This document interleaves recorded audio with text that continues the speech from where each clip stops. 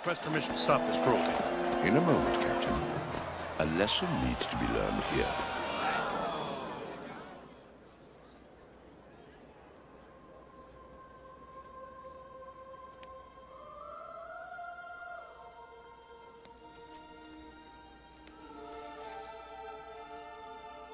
Don't be afraid. I'm sorry. This wasn't supposed to happen. You, gypsy girl, get down at once. Yes, Your Honor. Just as soon as I free this poor creature. I forbid it. How dare you defy me? You mistreat this boy the same way you mistreat my people. You speak out justice and make your cruel the souls most need of your help. Silence! Justice!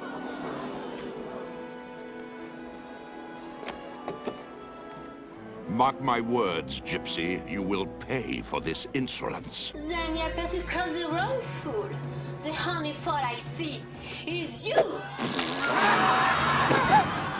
Captain Phoebus, arrest her.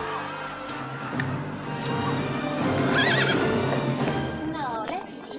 One, two, three, four, five, six, seven, eight. So this uh, ten of you, one of me. What's poker